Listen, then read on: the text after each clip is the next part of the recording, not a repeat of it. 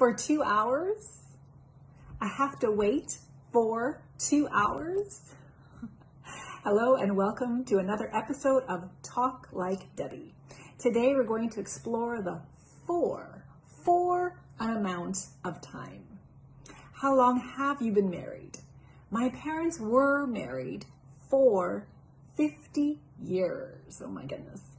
Um, I have been living in this building for 10 years. Uh, it has been raining for two hours, for example.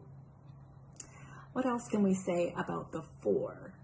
Uh, what have you been doing for the last 10 years? For the last 10 minutes? For is for an amount of time.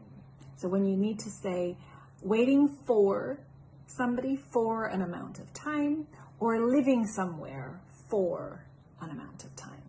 Hope that helps you. Hope to see you on the next video. Subscribe to my video and share it out. Have a great day.